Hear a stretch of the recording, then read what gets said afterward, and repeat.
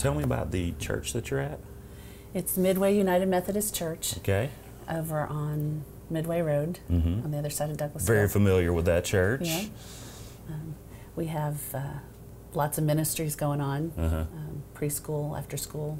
Yeah, we shot um, something. What was the thing called where the they go out and build the ramps for the Real, uh, people? River of River of Life. Yes, Yes. yes. Yeah, we went out and shot with them. With uh, I think we did something with Pastor Frank Boone. Mm-hmm. Yep. Yeah, and I I played soccer with his son. Oh, So okay. I've known him for years. Okay. Yeah. So today we are talking with a member of GriefShare. This is a program that goes on at Midway United Methodist. Yes. Uh, we're going to be talking more about that. Introduce yourself. I'm Linda Jackson, Okay. a member of Midway. Um, I'm the director of the preschool there. Awesome. So you wear many hats. I do. I do. Awesome. So we're going to talk more about GriefShare in just a moment. But if you've watched this show, Servings Kitchen with a Cause, you know that one of the things we do is we hide what we're cooking from our guests. And what we've done here, like always, is we have cloaked our ingredients in what we call the beach towel of deception. You're being deceived right now. Okay. So what I'm going to do is I'm going to reveal the ingredients and give you a chance to try to guess what we're cooking today. And I'll give you a hint. We always try to match up the recipes with the organization that we have on the show. okay. All right, so here we go. Lots of ingredients this time, Yes. and we are doing three different recipes. Let's see if you can guess. Any idea? No idea. We've got we got potatoes. Some sort of casserole, I would guess. Casserole? Because that's what you take to somebody's house. It is. After a funeral. That is a great guess. A great guess. And and sort of when we get done, it's gonna. It may look a little bit like a casserole. It's three separate ingredients. However, it is comfort food. So that's what we're doing to do today. The the GriefShare is all about getting people through their journey, as you said earlier. Yes. Uh, going from Mourning to joy. mourning to joy. So we're preparing comfort food to try to help along that process. So what we're doing today is we're doing Swedish meatballs, okay, almost like uh, a meatloaf. We're doing mashed potatoes, but they are souped up mashed potatoes. Let me tell you what, these are going to be the best mashed potatoes you ever tasted. And something that a lot of people say, I don't like those. But when they taste mine, they change their mind. We're doing Brussels sprouts. Hmm. All right, so we got Swedish meatballs, mashed potatoes, Brussels sprouts. It's all about comfort food. When we come back, we'll start the Swedish meatballs.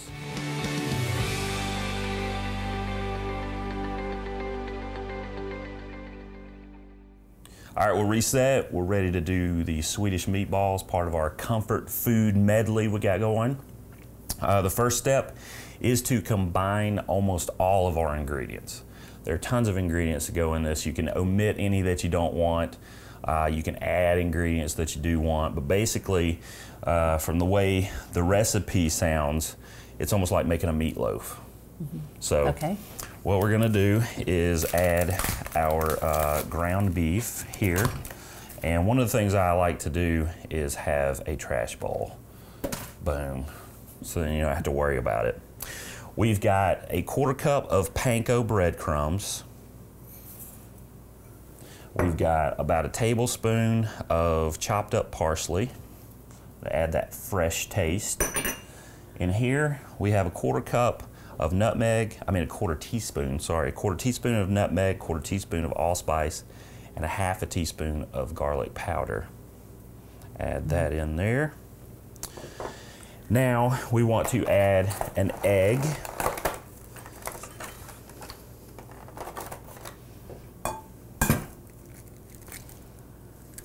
And just a little bit of salt and pepper. Now our salt and pepper is hiding right over here. I'm gonna let you add a little bit of salt and pepper. I'm gonna grab a towel. Always good to have a towel to wipe your hands on, especially when you're working with eggs. Awesome. Now I'm going to go ahead and I've got a skillet over here heating up, medium high heat, or medium heat rather, I don't want it high. I'm gonna add a little bit of olive oil to coat the bottom. And then I've got a tablespoon of butter. Gonna get that going. Move that around. Make sure we get the whole bottom covered. There we go. And now the dirty part. I'm gonna take my ring off. And while I'm doing this, why don't you tell us a little bit about how GriefShare started at your church? Okay. Um, I um, lost my dad in June of 2016 and um, found a GriefShare group that fall for myself, and it made such a difference in my grief process, in my being able to handle that and move on, that I wanted to bring it to my church. Okay. Um, we're an older church, and we had started losing um, husbands and wives, and and I just knew that there were grieving people in my in my own church, and so I wanted to bring it to my church. That's good. That's good. Now, what is the the GriefShare program? What what what happens there? It's a um, a weekly meeting, weekly sessions, thirteen in the in the whole process. Um, each session involves a video that is um, produced by the GriefShare program.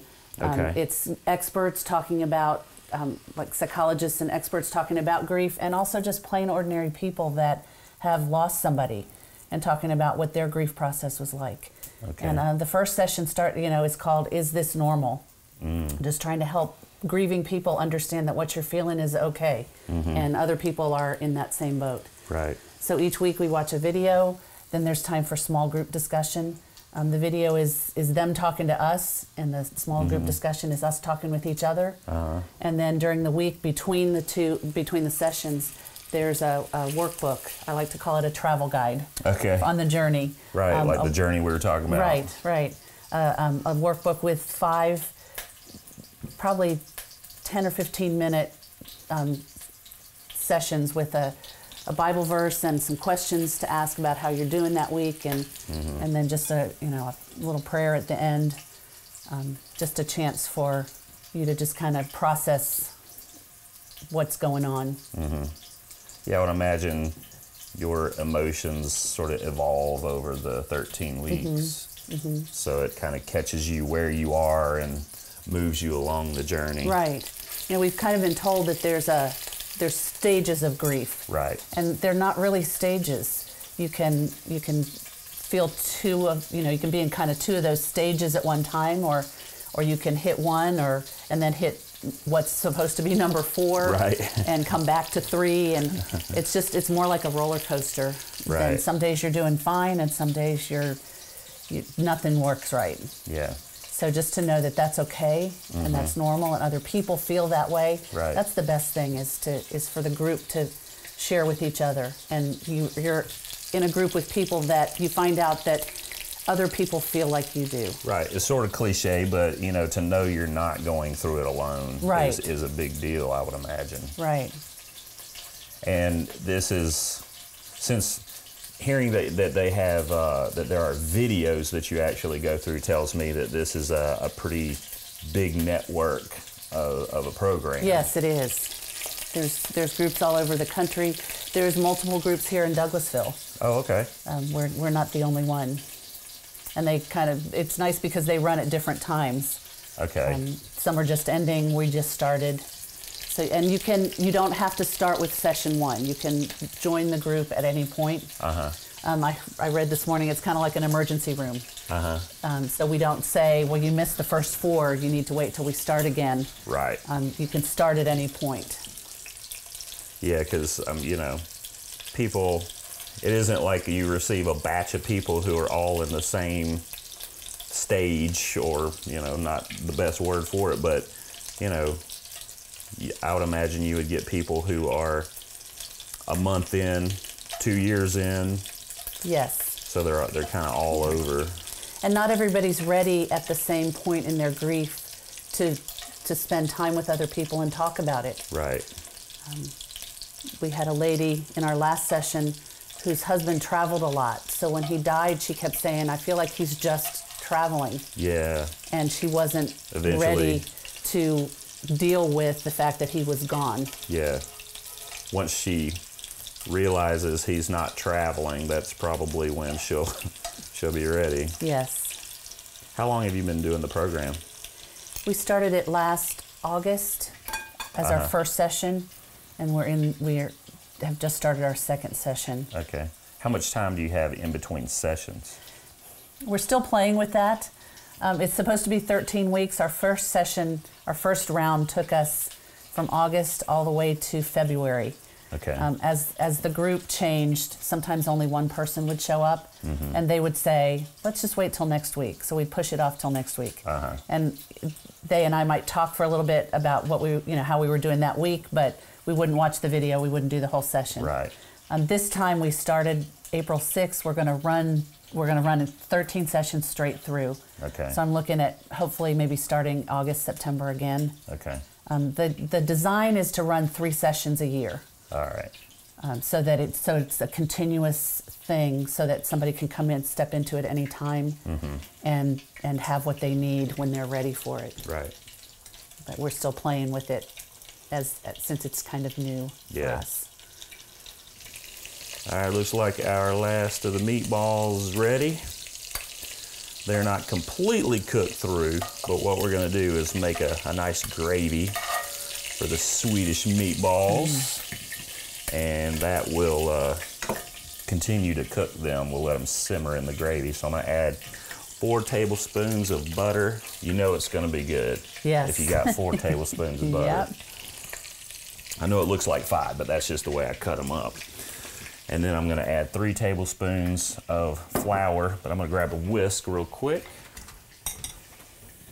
We've got all the little bits still in here from our cooking this, the uh, meatballs themselves. We will whisk that flour in. And this is actually called a roux or a gravy. It's all the same. We're gonna cook it until it turns brown. Then we'll be adding some beef broth, some Worcestershire sauce, and some Dijon mustard. So I'm gonna put you to work. Okay. Sounds good. All right, so if you'll look on here and see how much uh, beef broth, you can go ahead and pour it into one of those measuring cups. And we do have more beef broth if we need it. Okay.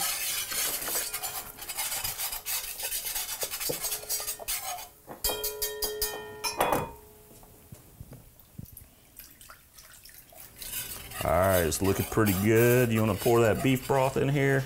Okay. Watch out, dog. Got our assistant Luna down there. And I believe we add the cream at the same time. Yes. Slowly add in the cream.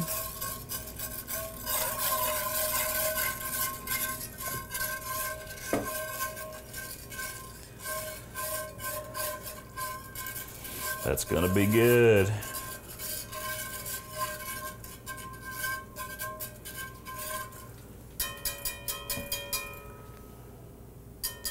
let that heat up and then we're gonna add I'm gonna add some Worcestershire sauce and some Dijon mustard okay? Calls for about a tablespoon. That looks like a tablespoon. Close enough. And then about a tablespoon or a teaspoon of the Dijon. That looks about right. Sometimes I measure sometimes I don't you know whatever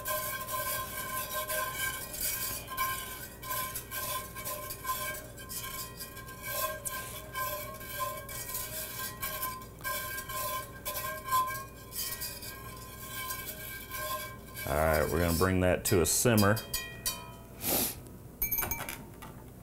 And we can go ahead and add a little bit of salt and pepper. Here's our salt.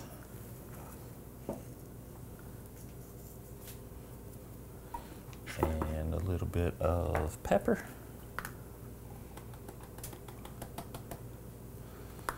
Awesome. So as soon as this starts to simmer, we'll let it get a little thick add our meatballs, and we will be ready to let them simmer for a little while. Get them, let them cook uh, the rest of the way through, and then we're ready to cook our mashed potatoes and our Brussels sprouts. The Brussels sprouts are going to surprise you, I promise. Uh, we'll be able to cook those both at the same time, so we'll be killing two birds with one stone Okay. which is a very violent thing to say. We're actually not going to be killing any birds, I promise. We'll be right back.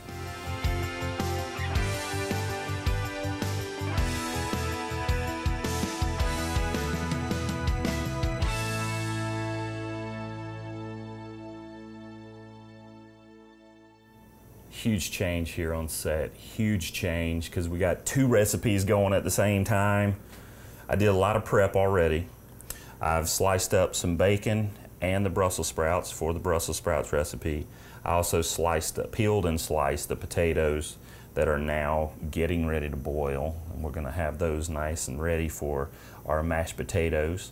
Um, while I start sautéing the bacon, um, why don't you tell us a little bit about the types of people that you guys are helping with GriefShare, and also if maybe somebody needs GriefShare in their life, how do they get in touch with you? How do they get involved? Okay.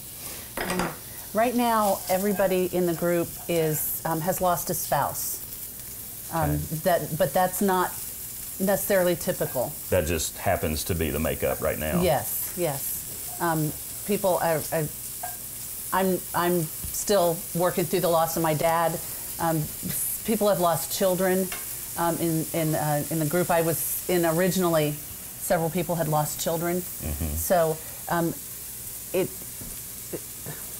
it's it needs to it needs to be the loss of a person. Right. Um, right, there are right. other losses that people go through, but um, GriefShare itself is not meant to deal with um, a, like a divorce or the loss, even the loss of a pet, or um, just the other some of the other big losses. So it's Right. it it needs to be the loss of a loved one, Okay. um, but parent, child, spouse, um, sister, brother, know, as long as it's a person. Okay. Um, and and the I don't know if I said this already. The losses go from we have um, one person in the group just about a six or eight week loss, um, all the way to um, somebody who's coming up on the second anniversary of their husband's Okay. death. Yeah. So there's no time limit either. The first group I was in had losses, um, people who were dealing with losses 10, 20 years ago. Wow. It just depends on when you get ready Mm-hmm. to, to, to deal with it. Um, but it eventually, it's a positive thing Right. to work through it and, and to, to find out that what you're dealing with is normal Mm-hmm. to, and to figure out how to, how to move on. Mm-hmm. Um, it never really goes away. The loss, you, you don't really get over it, Yeah. but you learn how to, how to live with it. Right. I guess that's the key is learning to live with it. Yes. Because I know a lot of people they shut down yes. and they don't want to Yeah. live with it. Yeah. There's one lady at church now that um, is having just a hard time accepting that her mom is gone. Mm-hmm. And she told me a couple weeks ago, I haven't talked to mom in a while. I think I need to call her. Wow. And and that just breaks my heart. Yeah. That's not it's not good for you to Yeah. to be in that place. Right. So um, there's, you can um, you can call the church. Um, Okay. The church secretary n- knows to pass people on to me. Mhm. You can also call the the preschool number, um, and get me directly during the day. Okay. So, uh, can people just join at any point during the uh, the process, or do they need to wait till the next uh, class to start up? No, you can start. You can join at any point. Okay. Um, it's kind of sequential, but not really. the The first the first few sessions are about just comfort and you know, is this normal? How do how do I deal with my feelings? The middle is how to how to kind of live with it and move on, and then the end, the last three or four sessions are kind of the hope for the future. But you can join at any point, and lots of people do more than one cycle. Okay. Um, if you you know if you start at week six, you're you're you can come back and do the beginning, Right. um, and even you don't have to just do 13 weeks. Lots of people do multiple cycles on purpose. 26. 20 yeah Just keep two going. two maybe three is is the recommendation Right. once you know if you've done it three times and you're still struggling then there's there's more to it than Yeah. than just regular Right. grief Right. I'm gonna get a spoon for the garlic. We always use my daughter's baby spoons. She's not a baby anymore, but hey, why throw away anything ever? We're, yeah, we're ready.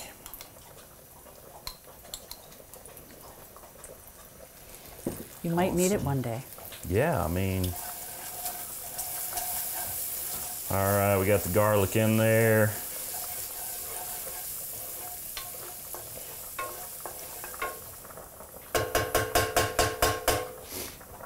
Got our taters going.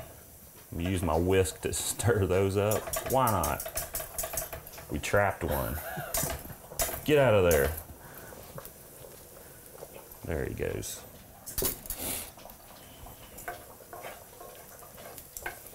All right, we're just about ready for our Brussels sprouts to go in here. So what I'm gonna do, the bacon is almost done. Put the Brussels sprouts in here and they're gonna get nice and caramelized. So we're basically sauteing everything. You want to get a pan that's that's big enough to where most of them are going to touch the pan all the time. It makes the uh, the sauteing process go a little faster, and the caramelization will happen a little faster. Once we get them caramelized, we're to add some beef stock. We're up to probably about halfway up. Cover it, let it simmer for about 20 minutes, and then at, by the time we put the beef stock in there, I think our potatoes are to be ready. We will smash them down in some butter, some cream cheese, parmesan. Oh my goodness. I can't wait. When we come back, all this is to be ready to put together. See you in a sec.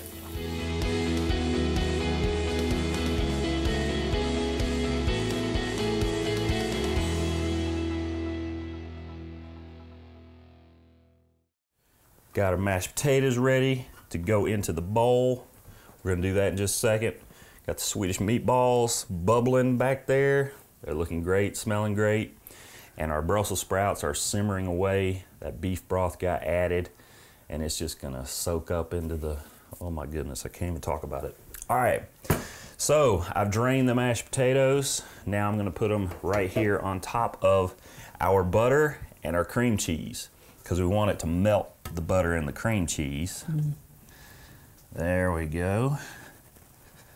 And I'm gonna give you the prestigious job of mashing. So we're gonna mash those up for a couple minutes, trying to get the butter and the cream cheese incorporated. And I am definitely not against adding more if we have to, but that will be determined once we get all the other ingredients included and incorporated. So the other ingredients that we will be including, we've got heavy cream. Oh yes. These are diet mashed potatoes. Go ahead and add some of that. Be a little easier to mash. When I make my mashed potatoes, it's all based on feel. You know, you can kind of feel how soupy it feels. You want to add just a, you know, a little bit of cream, not a whole lot, because if you add too much, you can't really take it back out. Now, the more that you mash and the longer it sits, the more it will absorb. So, even if it's a little soupy at first, it's okay. Just let it sit or keep mashing, and it'll probably be better. keep going or is that Uh, that's good for right this second. We're going to also add some Parmesan cheese. A nice amount so we take, whoa, hey, that's a nice amount. There we go. That's what I'm talking about. Usually the accidents are what, what makes it the best. So, and then I'm going to add a little more salt, a little pepper. Now mash it up a little bit more and then we will stir it. Oh, those are looking so good. Oh my gosh. Can't even contain myself. So creamy. That? Oh, that is just beautiful. Beautiful, beautiful. Now I'm gonna just stir it up just a little bit, make sure everything is incorporated. Because although you're mashing, you're not stirring a whole lot. It's hard to stir up with the with the masher. So this is kind of the last little bit. And they are feeling just a little bit sticky. So gotta add some more cream. I mean, you know, you gotta do what you gotta do. I add so much cream that when I stir it, I make a mess. See, I already spilled some. Now, normally,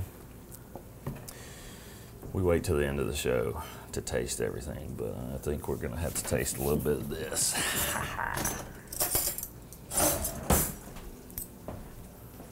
Let's do it.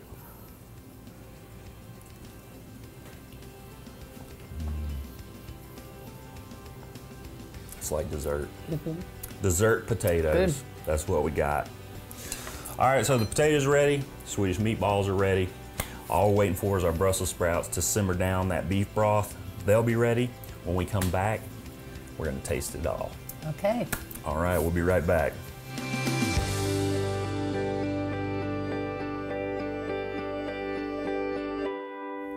I don't know if we have ever had a more beautiful display on this show.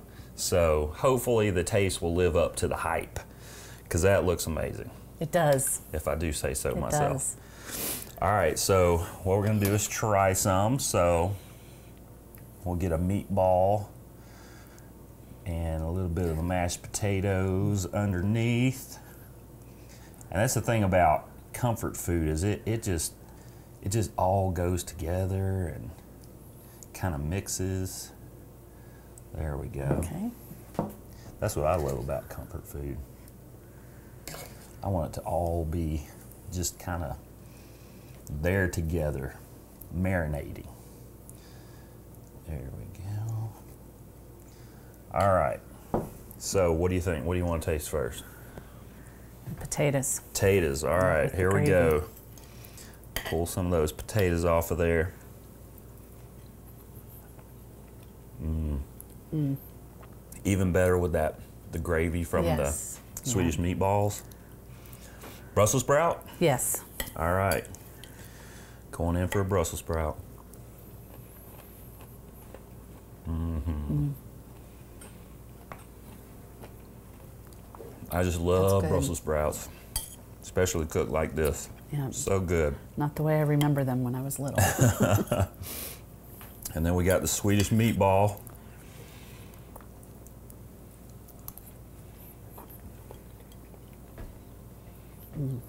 Feel better already. Just makes you go. Mm. Do you guys ever bring food in to We have snacks. snacks? Yeah, light snacks. Um, Yeah, you got to have some kind of food. You just got to. Linda, thanks you. Thank you so much for being on the show. We appreciate you coming in and telling us about GriefShare. you're welcome. Thank and, you. and again, tell tell everybody if if they need GriefShare, what can they do to get involved? You can call Midway United Methodist Church, Okay. and um, the church secretary knows some of the information, and she forwards the information to me. Okay. You can also call the preschool directly and, and reach me directly. Um, and you can also go to GriefShare online. Okay. Just Google GriefShare, and um, there's a place to locate the local meetings. Okay. So you can find it that way as well, and you can register online, Great. and that gets sent to me. Good. So if you need to get involved, if you need GriefShare, make sure you call the church, Google GriefShare. Uh, the show is Servings Kitchen with a Cause. It's all about getting involved. Sometimes getting involved means actually being a part of that organization, taking advantage of some of the things that that organization offers you.